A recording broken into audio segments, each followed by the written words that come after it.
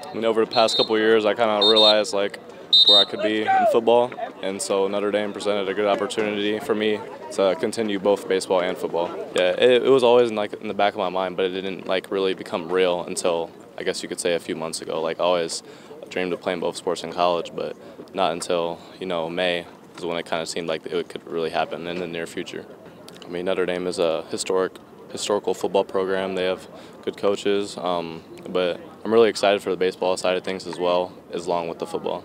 Tell me about the baseball program at Notre Dame. What what makes them attractive? Um, Shawn Stiffler is a great guy. Uh, Munger, all the assistants have already called me. I've already talked to them and stuff. They're checking in. Um, they were in the College World Series a few years ago, so I know there's success there, and I know they can develop me.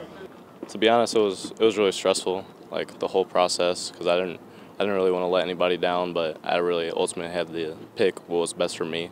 So I'm kind of glad and relieved that I finally got that off, that weight off my shoulders. Right. I mean, when I was 14, when I committed them, I had nothing but respect to Tim Corbin in the program, and that still hasn't changed. I really uh, have the utmost respect for him and his program and what he's done there uh, since I don't even know when he's been there forever, but I still have a ton of respect for them, and it, it really was hard choice for you, what's the response been like? I imagine, especially in this area of the country, a lot of people are you know huge Notre Dame fans. So what's the response been like over the last yeah, few days? I mean, people love people in Fort Wayne love the Notre Dame football. So I mean, it's a lot of congratulations and whatnot. But I'm really just trying to stay focused on the present. Yeah. Have you had a chance to talk to like Tay? Obviously, he's a safety. You're a safety.